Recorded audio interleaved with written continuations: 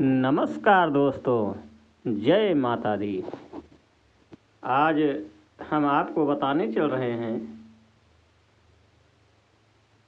कि आठ लोग कौन कौन से हैं जो आपको कभी कुछ नहीं समझते हैं। आपके सामने पेश होंगे कि आपके ऊपर मैं मर रहा हूँ, लेकिन वो आपको कुछ नहीं समझते हैं। जैसे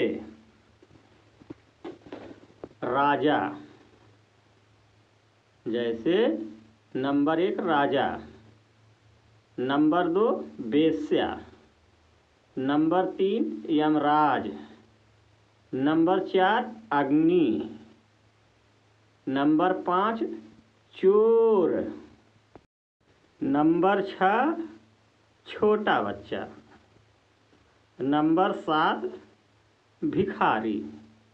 और नंबर आठ, कर वसूल करने वाला।